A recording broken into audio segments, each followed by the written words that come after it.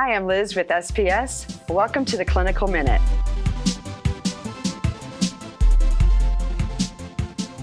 In this segment, I will discuss with you the Townsend Thuasne Action Reliever.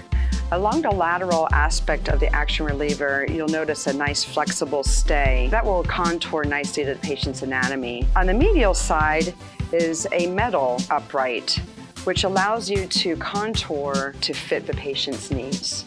Also, let's say the doctor has requested that the patient is limited to 20 degrees of knee flexion. There is a flexion stop at 20 degrees. This will be placed right inside the joint and it can be secured in place using the Allen wrench. This will limit the patient's movement at 20 degrees. Again, this is what the physician will place on the order for the patient. If there is a restriction that is required due to the specific need um, or injury, this is an option for a patient. So I'll put this back in, this out. The knee joint itself comes with a zero degree extension stop, which is pretty standard.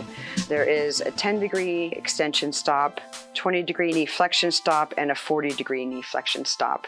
And then there's a really nice instruction manual that has been provided inside the box here. This concludes the uh, clinical minute. Oh yeah, if you like this video, then subscribe to our YouTube channel. Thank you. This has been a clinical minute on the action reliever.